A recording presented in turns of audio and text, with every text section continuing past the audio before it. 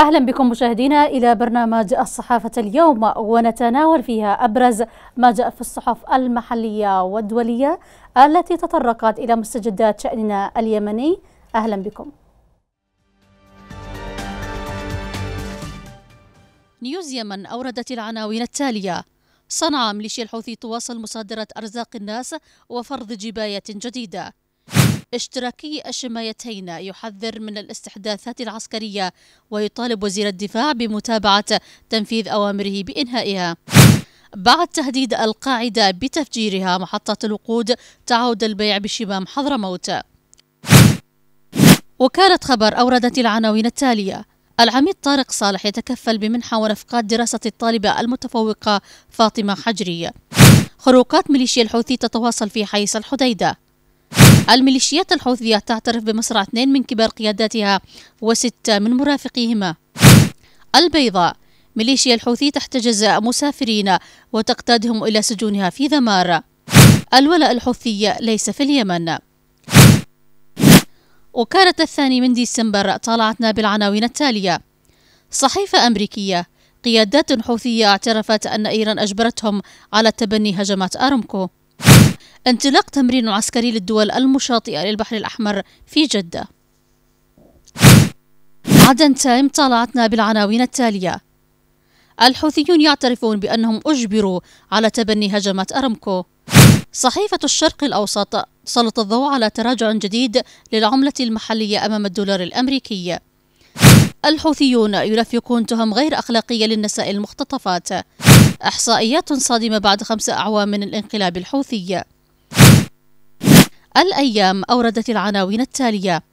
جباري والميسري والجبواني يلتقون محمد عبد السلام في مسقط. صحيفة. الحوثيون حذروا من مخطط إيراني لمهاجمة السعودية. عدن الغد أوردت العناوين التالية. قيادات حوثية تتهاوى. تشييع جماعي لقيادة حوثية رفيعة.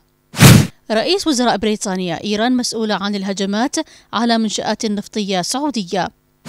طيران التحالف يغير على مواقع الحوثيين في صنعاء. يمن دايركت أوردت العنوان التالي. جدت خروقات الميليشيا الحوثية قصف واستهداف على مناطق متفرقة من الحديدة. البيان الإماراتية طلعتنا بالعنوان التالي. غارات جوية تستهدف تعزيزة الحوثيين في صعدة الشرق الأوسط طلعتنا بالعناوين التالية. اتهام حكومي للانقلابيين بالتسبب في أزمة الوقود. مقتل طفل بانفجار لغم في خوخة الحديدة. التحالف يدمر تعزيزات للميليشيات في صعدة تراجع جديد للريال اليمني وهذا يوجه بإجراءات لمنع المضاربات. الجطيلية للشرق الأوسط هدف الحوثيين استخدام الملف الإنساني أداة ضغط. فليمت الشعب لتعيش أسرة الحوثية. تحت هذا العنوان كتب عادل صالح النزيلي في مقاله. من 21 سبتمبر والمواطن في حرب ضروس تشنها ميليشيات الحوثي على حياته لتركيعه لتعيش أسرة عبد الملك الحوثي. مطالب الناس حتى ليلة سيطرة الحوثي بمعايير الحياة كانت مجرد طلبات للرفاهية لا أكثر بالنسبة لحالهم بعد سيطرته حتى اللحظة. وكل شعارات الثورة تتبخر مثلا حكاية بيع الغاز لكوريا أو الجرعة أو الفساد مع أن الإصلاح يملك مقدرات مأرب ويريد إلى جوارها شبوة ومش فاسد بس. هذا عدو حارم الناس من أبسط حقوقهم. والحوثي ماسك كل موارد الضرائب والمواصلات والجمارك. ومع هذا يقولون مش هم فاسدين وهم نهبوا كل شيء وما أبقوا شيئا. ويشتوا حلول تحفظ لهم هذه المكاسب التي تحققت بعد ثوراتهم. الشعوب دائما مكاسبها بالشراكة والاستقرار ومع مؤسسات الدولة. الشعوب مصلحتها مع الشعارات الثقيلة على المعدة التي ما تتلاعب بالعواطف ولا تحفز الدم نحو الجريمة. حكومات صنعاء المتعاقبة لم يشر إليها بالصحف الدولية والنظرة العالمية كولاية أمريكية ولا كحديقة للمملكة رغم أن كل التهم التي أطلقها الحوثيون على من سبقهم. بينما يشار إلى ميليشيا الحوثي اليوم بكل وضوح كمجرد ذنب وسيلة لإيران. طمس الحوثي اليمن وعلق رقعة إيرانية وكل جريمة تؤكد تبعيتهم لإيران أكثر من أن تثبت تحررهم. يضاف إلى ذلك لا سقطت جرعة ولا حاربوا أمريكا وعلى العكس السوق السوداء غرقت البلاد وأمريكا تحميهم وتلاطف بهم كما أن مؤسسات الدولة من شركة نفط إلى بنك مركزي إلى آخر الصناديق الإيرادية كلها تحولت لأسرة عبد الملك الحوثي وميليشياته والمواطن خارج الموضوع بكل الحسابات. باختصار تم إلغاء المواطن وتعيش أسرة الحوثي. وفي الختام يقول عبد السلام جحاف عضو الحوار الوطني لميليشيا الحوثية إن الشعب مش متساوي بالحقوق والواجبات فهم عيال رسول الله وأنتم رعيتهم. آه، مشاهدينا الكرام سوف نتحدث في هذه الحلقة عن حديث صحيفة أمريكية آه، أن قيادات حوثية تحدثت أنه تم إجبارها على تبني هجمات آه، أرمكو طبعا السعودية. إذا هناك تساؤلات عدة آه، لماذا تبنت ميليشيا الحوثي؟ الهجوم على أرامكو السعودية لماذا أجبرتها إيران أيضا على هذا التبني؟ لماذا تريد تبييض يد إيران من هذه العملية؟ طبعا مشاهدينا الكرام معي في الاستديو الحديث حول هذا الموضوع الإعلامي والمحلل السياسي عبد العالم حيدرة وسوف يكون معي عبر الهاتف الدكتور نجيب غلاب وكيل وزارة الإعلام. وسوف يكون معي أيضا عبر الهاتف الأستاذ منير أديب باحث في شؤون آه، الحركات المتطرفة والإرهاب الدولي. نذهب إلى فاصل ثم نعود.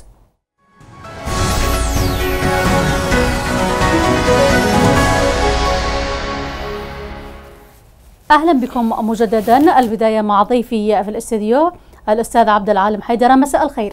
مساء النور. نعم أستاذ عبد العالم برأيك الآن آه لماذا تعترف قيادات حوثية آه بأنها تبنت آه الهجوم على أرمكو بناء على إجبار إيران لها؟ اولا أعتقد إنه بات الأمر واضح يعني الميليشيات الحوثية انكشفت يعني لأنه تنفيذ هذا الهجوم لا يمكن أن يتم عن طريق ميليشيات حوثية لا تمتلك أي قدرة أن تنفذ مثل هذه العمليات. العالم كله اجتمع وأجمع على أنه العمليات هذه لا يمكن أن تقوم بها الميليشيات الحوثية فلم يكن أمامها إلا أن آه يعني أن تعترف أو تبدأ بكشف الموضوع. الموضوع آه، هناك ما يشبه تمييع القضية يعني الحوثيين يعترفوا ومن ثم ينكروا وهكذا. لكن بالمجمل هذه العملية بإجماع كل الخبراء بإجماع كل العسكريين إنه لا يمكن أن تتم عن طريق الميليشيات الحوثية وإنها تمت من مكان مجاور للمملكة العربية السعودية وأعتقد إنه تم استخدام فيها صواريخ آه يعني لا تمتلكها الميليشيات الحوثية ولا أيضا إمكانية تمتلكها الميليشيات الحوثية. إيران آه لا أجبرت الميليشيات الحوثية على مثل هذه الأعمال أيضا آه، هناك عمليه سابقة آه، أشارت فيها المملكة العربية السعودية أنه تم إطلاق الطائرات المسيرة من العراق لكن لم يتم تحقيق بالشكل الكبير لكن آه، بعد الحصول على بقايا لصواريخ لم تنفجر وأيضا تم تحديد أماكن الانطلاق آه، كان لابد الميليشيات الحوثيه أن تبدأ تتلاعب بالألفاظ وأن تبدأ أن تعترف ومن ثم سنجد من نعم. ينكر محاولة تمييع القضية.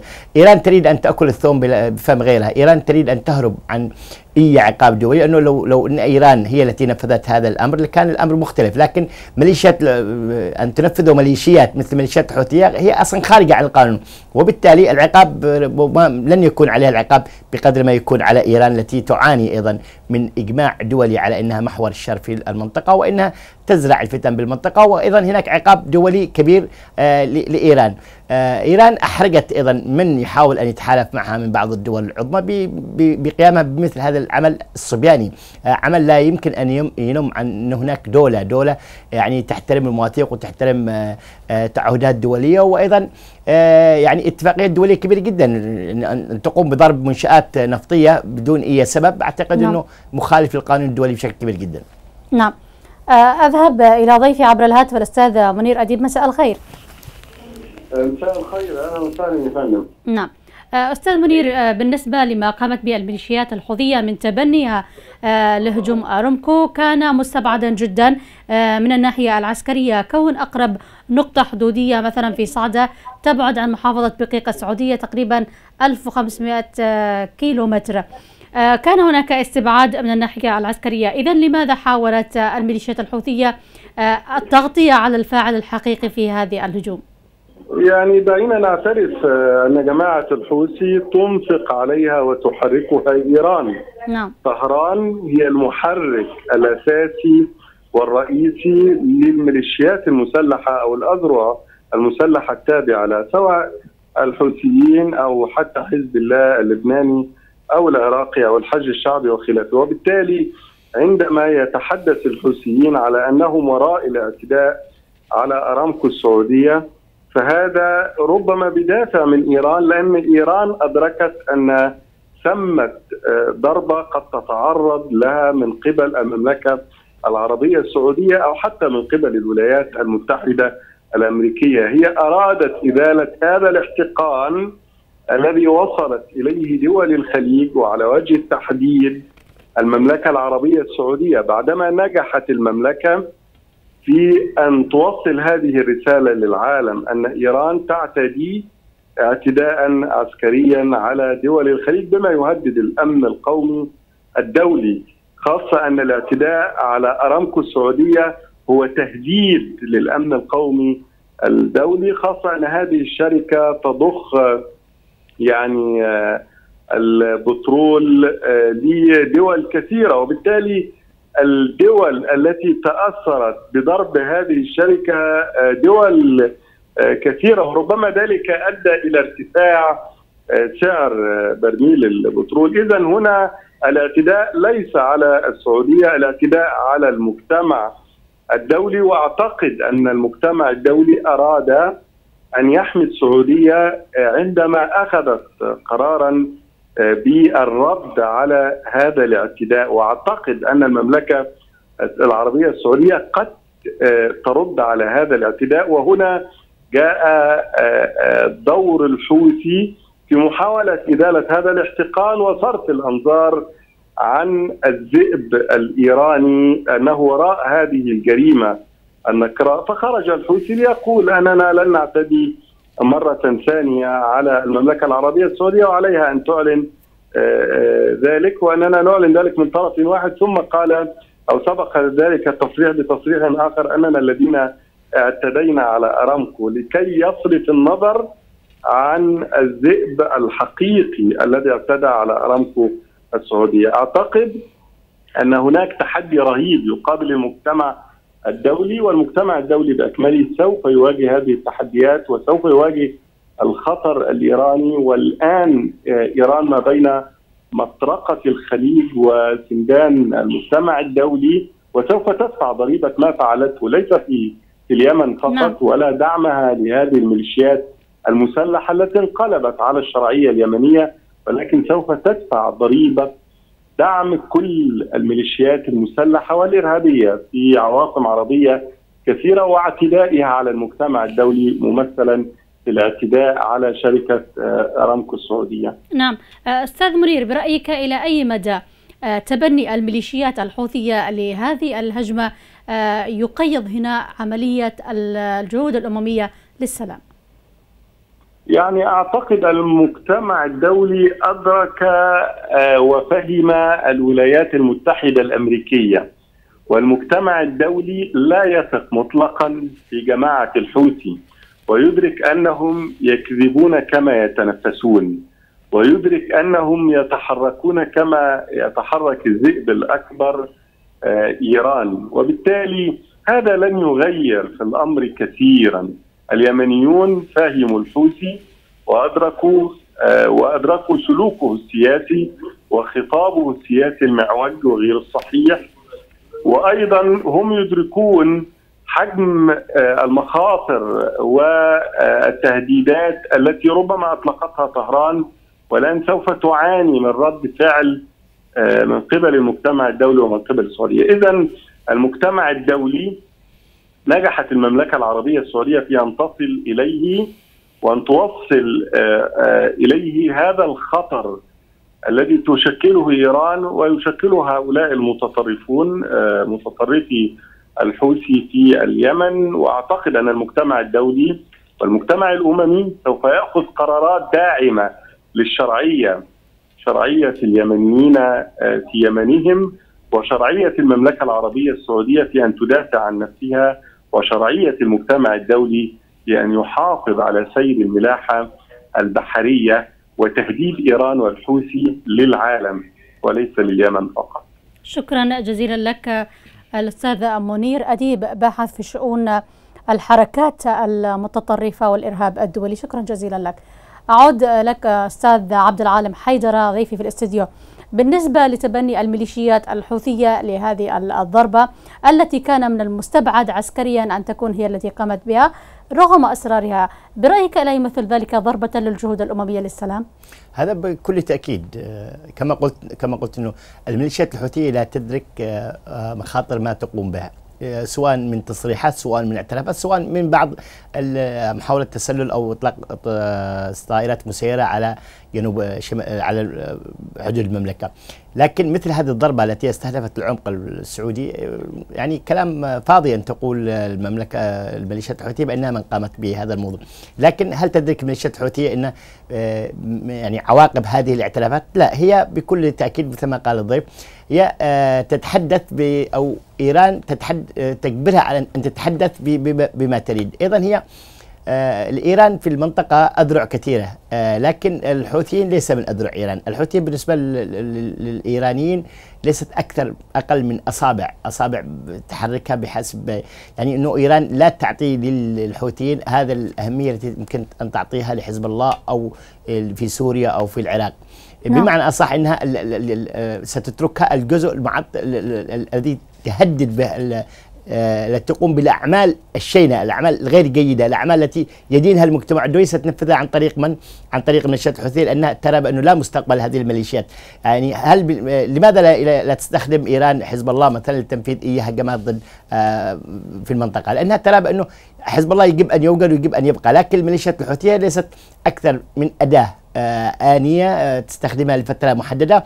تدرك جيدا إيران بأن الميليشيات الحوثية لا مستقبل لها في اليمن وأن الشعب اليمني لا يمكن أن يقبل ببقاء هذه الميليشيات. وبالتالي هي آه ترجع إليها الأعمال التي لا يرضاها المجتمع الدولي وهي والميليشيات الحوثيات تتحمل بغباء آه وزر آه ما تقوم به إيران من آه من أعمال في المنطقة يدينها المجتمع الدولي بشكل كبير جدا. وكما قال الضيف أيضا انه المجتمع الدولي هذه المرة لن يمرر ما حصل بسلام لأنه استهداف أكبر المنشآت النفطية التي تضخ للعالم كله. أعتقد أنه عمل خسيس وخطير ويضر الأمن القومي العالمي. وأيضا آه هذا ينبئ أيضا إنه الميليشيات الحوثية آه ليس لديها مانع وليس لديها آه معرفة بماذا ستعمل. آه يمكن أن تهدد المياه الإقليمية يمكن أن تهدد الملاحه ممكن تهدد أشياء كثيرة وهي ليست الفاعل. سيكون الفاعل إيران ربما الفاعل مرة أخرى دولة أخرى. الأعداء في المنطقة كثير في الشرق الأوسط أعداء كثير. وبالتالي أي شخص يقوم بعملية يعني آه يعني مثل هذه العمليات الإرهابية مثل هذه الأعمال الغير قانونية سيرجعها للميليشيات الحوثيه وإيران ستجبر الميليشيات الحوثيه على تحملها.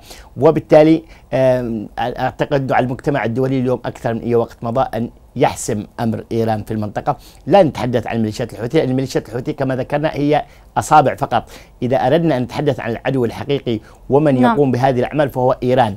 أعود وأكرر إنه أيضا مثل أعود لسؤالك إنه جهود السلام أيضا مش هي أعتقد إنها انتهت بثمانية أشهر أو سبعة أشهر على اتفاق ستوكهولم وينفذ اي شيء بعد أن قمنا بعد قاموا بتجزئة الحلول، الأمم المتحدة تتحمل مسؤولية كبيرة جدا ببقاء هذه الميليشيات الحوثية وهي كما قلنا تقوم بإنقاذ الميليشيات الحوثية في في, في اللحظات الأخيرة، أمر مضحك جدا أن تتحدث الأمم المتحدة اليوم أيضا عن اي سلام وهي ترى اليمن وقد ما يجري في اليمن وكيف تحولت اليمن إلى كنتونات تحارب بعضها. الأمم المتحدة مسؤولية مسؤوليه, مسؤولية مباشرة عما يجري.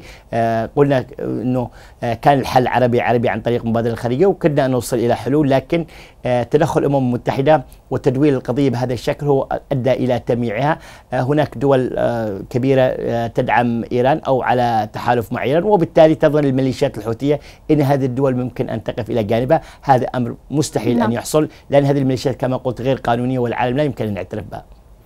آه نعم عبد العالم ابقى معي. آه أعود الآن إلى أو أذهب إلى ضيفي آه عبر الهاتف الدكتور نجيب غلاب وكيل وزارة الإعلام. مساء الخير دكتور نجيب.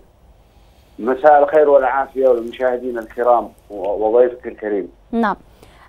دكتور نجيب بالنسبة للميليشيات الحوثية أصرت فترة أنه هي من قامت بالهجوم على أرامكو السعودية. ثم الآن يعترفون على أيضا ألسن قياداتهم بأنهم أجبروا على ذلك برأيك الإصرار ثم الاعتراف والتراجع هنا وهذه المتناقضات في هذه الفترة كيف تقرأها من وجهة نظرك؟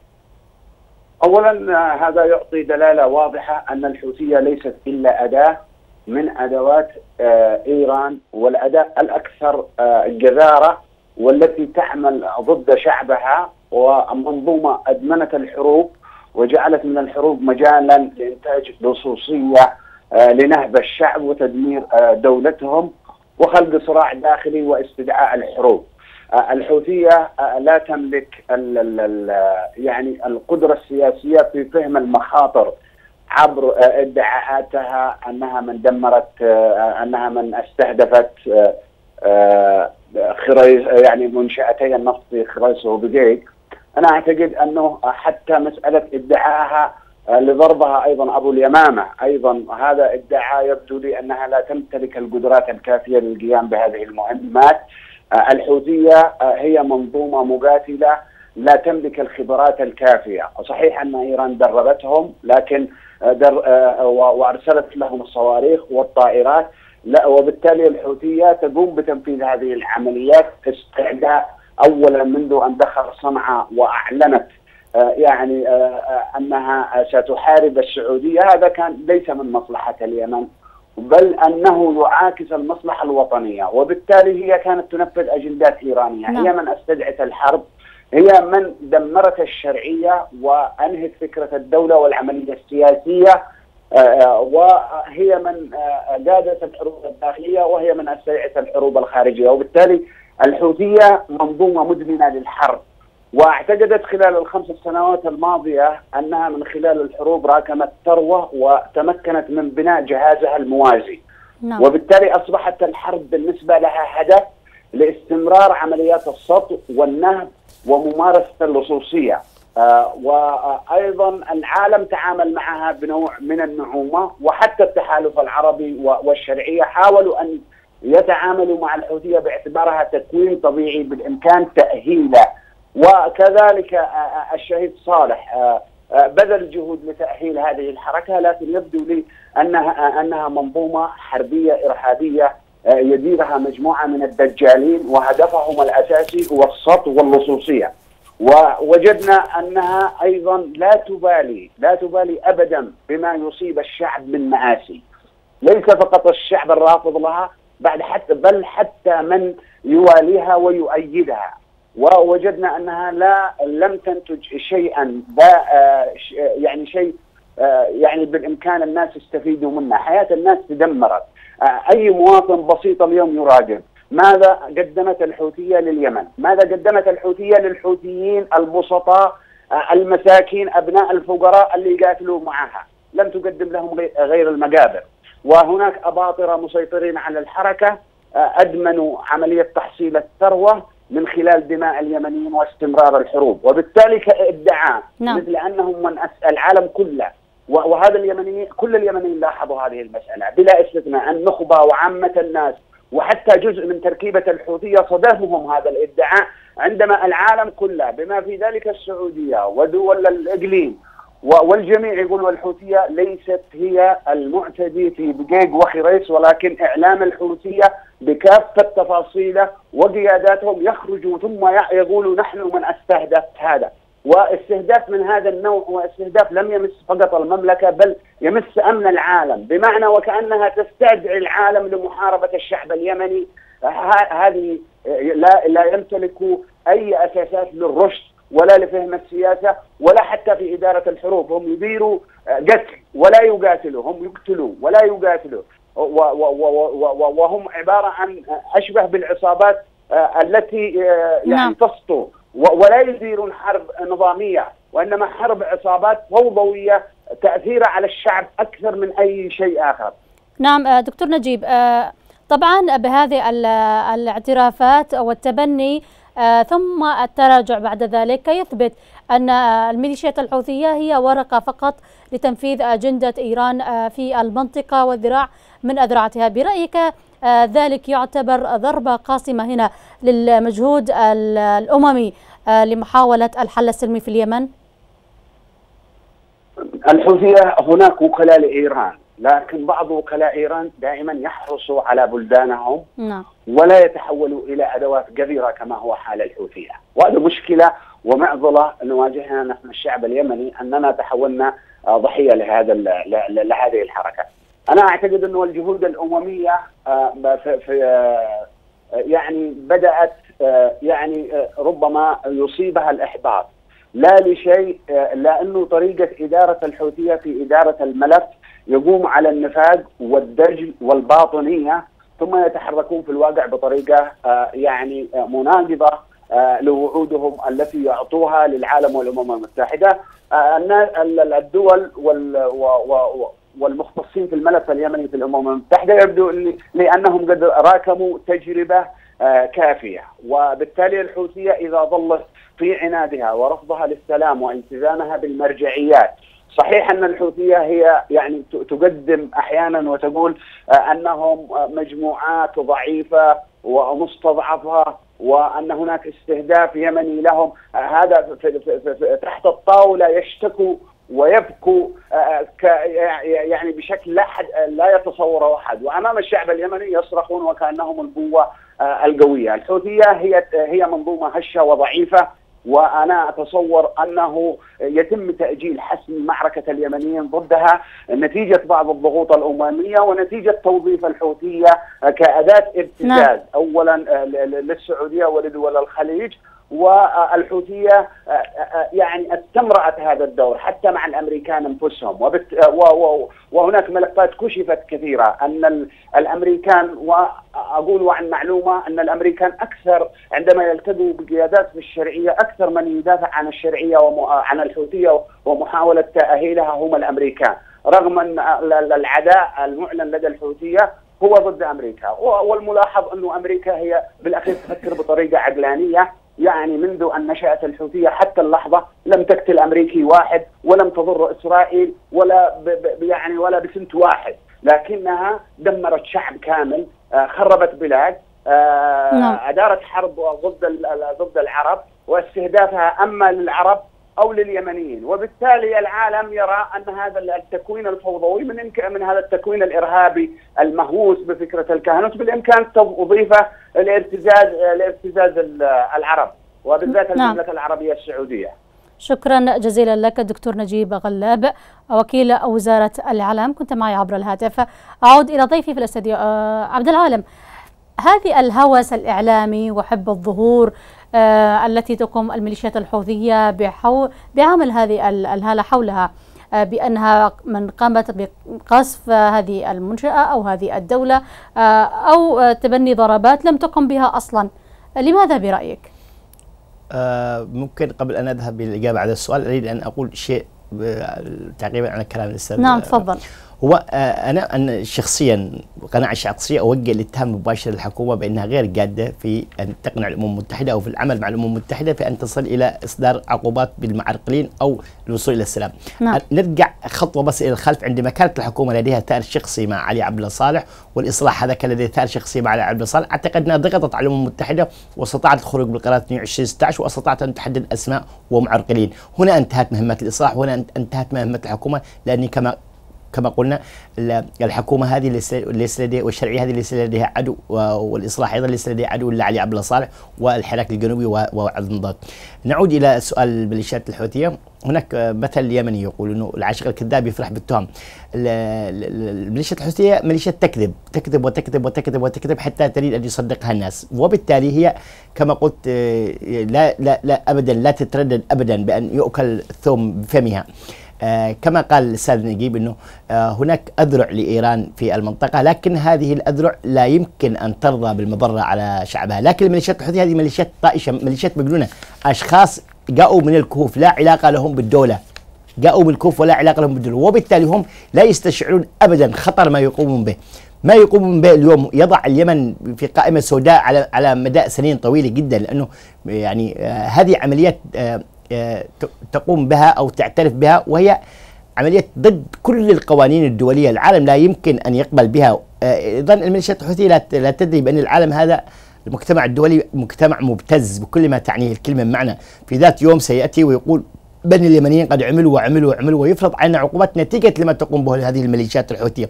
هذه القرارات المجنونة والطائشة من قبل الميليشيات الحوثية وعدم استشعارها نعم. لما هو قادم أعتقد أنها ستضرنا وأعتقد أنها كارثة على اليمنيين يجب أن نتنبا لها ويجب أن نقف ضد هذه الميليشيات الحوثية لأنه لا يمكن أن تنتهي هذه الميليشيات الحوثية إلا على أيدينا نحن كيمنيين، يجب أن لا نعول على المجتمع الدولي دول التحالف تقوم بواجبها لكن أيضا نحن كيمنيين يجب أن نكون يد واحدة ضد هذه الميليشيات الحوثية. نعم. الأستاذ عبد العالم حيدرة الكاتب الصحفي والمحلل السياسي كنت معي ضيفا لهذه الحلقة أشكرك شكرا جزيلا وأشكركم أيضا مشاهدي الأكارم لحسن المتابعة وحتى الملتقى في أمان الله وحفظه